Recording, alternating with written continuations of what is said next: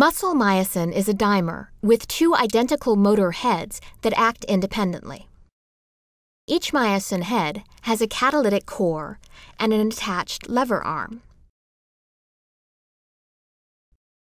A coiled coil rod ties the two heads together and tethers them to the thick filament seen on top.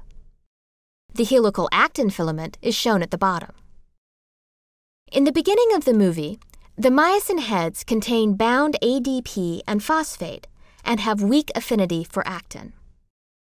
Once one of the heads docks properly onto an actin subunit, phosphate is released.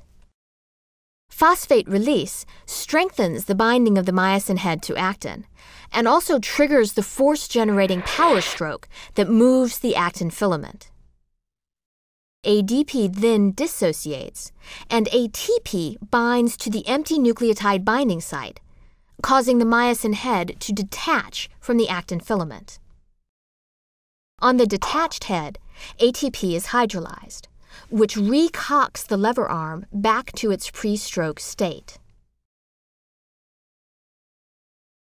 Thus, like a spring, the arm stores the energy released by ATP hydrolysis, and the cycle can repeat. The actin filament does not slide back after being released by the motor head, because there are many other myosin molecules also attached to it, holding it under tension.